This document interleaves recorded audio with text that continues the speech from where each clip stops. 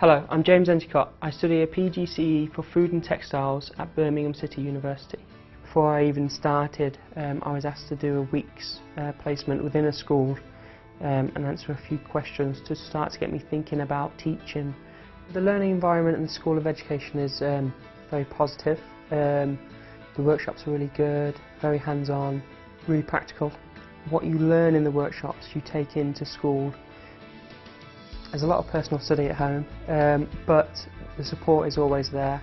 My personal tutor, if I wanted to contact her, she's always on the end of an email. Lecture time, it depends. It depends on what module you're studying, but it's adequate enough for you to complete the assignments. The facilities at the university and the workshops um, are very up to date. We are allowed, um, also if we want to, to take away the resources and use them in school um, to help our teaching.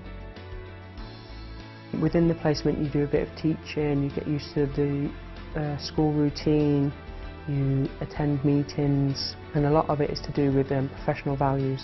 You get to compare placements, different schools, special educational needs schools, technology colleges, community colleges and really thinking about what you would teach the kids and refining what you've seen.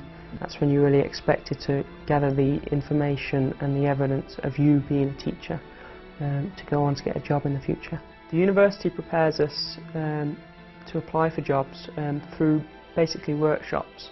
They do go out of their way to make sure that we, we're comfortable about going into our first interview.